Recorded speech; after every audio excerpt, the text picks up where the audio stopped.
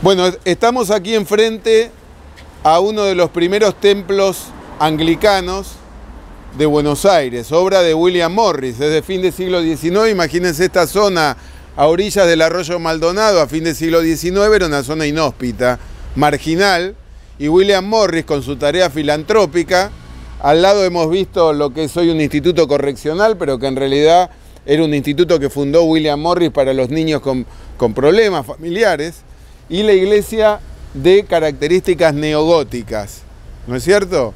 Neogótica pero de un neogótico más inglés porque tiene una directriz horizontal, no es la verticalidad del, gótico continental o francés, sino que es una iglesia de planta salón, alargada, ¿no?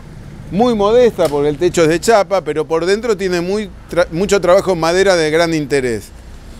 Templo Evangélico San Pablo, que como dice la compañera, preguntó cómo, si es un templo evangélico, tiene una vocación, porque originalmente era anglicano. Y recordemos que los anglicanos tienen una teología, una liturgia, santos, casi idéntica a la católica, la única diferencia es que responden, en vez de al Papa, a la reina de Inglaterra.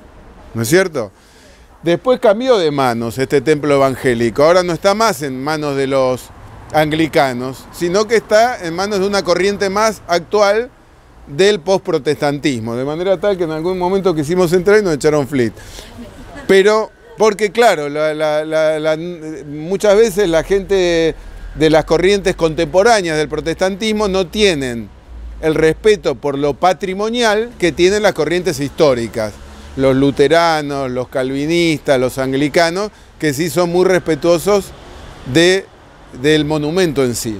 De manera tal que neogótico del Templo Evangélico de San Pablo, que nos habla de la obra, hoy tal vez olvidada, de William Morris, aquí en el barrio de Palermo, que en su momento despertó la polémica de los católicos porque empezó a arrastrar en su tarea filantrópica sectores populares que eran tradicionalmente católicos, y entonces los salesianos se pusieron del otro lado del Maldonado con el Instituto León XIII.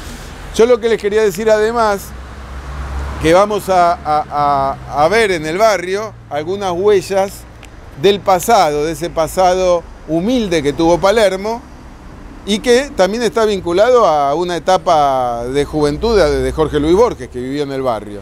Entonces vamos a recorrer un poco más viendo la diversidad religiosa aquí en el barrio de Palermo o Villa Alvear, que era el nombre original.